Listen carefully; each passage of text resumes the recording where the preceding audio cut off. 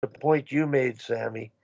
And I'm curious, uh, Greg, you have kids, and I don't know whether they play hockey or they're old enough or they're too young yet, but all too of young us yet.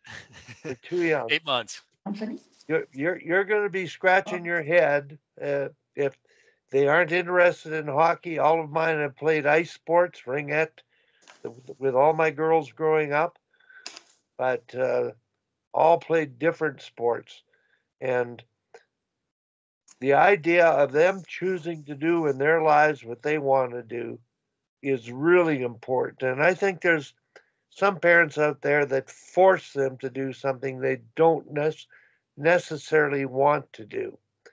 And they're trying to please their parents.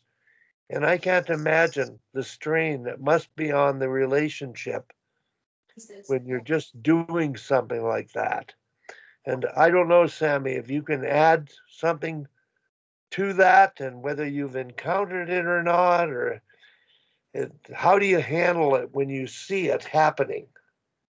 You're right, Wally. It's tough. I mean, it's um, she, my daughter played for three years, and her first year, she first two years, she had Jennifer Botterill and Adrian Lamonaco, her husband, coaching. I mean, these are two of the best coaches in the entire world. And then her final year, we moved her over to just all girls, and thought maybe that that was kind of the issue. And um, so my husband, Billy uh, Bridges, who's a sledge hockey player, and I coached, and we were on the ice. And, um, you know, I we are all about fun and all about making it exciting for all the other, uh, for everyone. And we were certainly not hard on her or anything, but it it is really hard to see them when they don't love it. And, you know, she told us so many times over those three years, but we thought I think like so many parents, oh, eventually they'll like it if they just can learn to skate. And then she learns to skate and she still, it's not her thing. Um, so when she came to us in the summer and she said, you know, I, mommy, I really don't want to play hockey. I said back to her, I think not rightly, but I said, you know, mommy really loves coaching and I love the U9 level. And that's just, you know, my bread and butter. And I said, will you just play one more year of house league? Cause mommy really loves it. And she turned to me and she said, you know, for, for you, mommy, I'll play. And I thought exactly the wrong reason. You know, it really stopped me dead in my tracks and made me realize like she is simply playing for me. And so when she does rock climbing or she does gymnastics, she does karate, her face lights up and she gets excited to go and she puts on her own equipment and her own stuff. And that just wasn't the case in hockey. And I, I truly do think that hockey took mom and dad away a lot um, in her childhood. And so it doesn't necessarily have the best connotations. So who knows? Maybe she'll come back to it at some point. But there is such a joy when you see your child do something they love.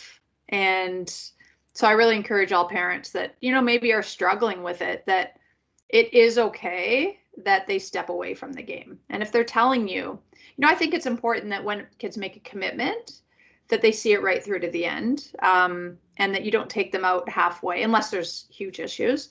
Um, but they commit to it at the end and then they replace it with something else that is fit and active because I think it's really important for kids to be fit and active and and to be busy and and learn uh, all the important skills that sport can teach us. But it will t- certainly take us in different journeys in different directions and um, with only one too there's just we only have a, an only child and sometimes all eyes are on her as well so it's different when you have a harem like kim has uh, where they're all they're all running around free and wild um, and get to kind of choose the things they want. Um, but with one, you're always asking those questions, and I think listening is uh, so important. So that's my recommendation: is to you know uh, allow them the chance to do everything, but listen when they are telling you what they they want to pursue. Wise words, Sami. Thank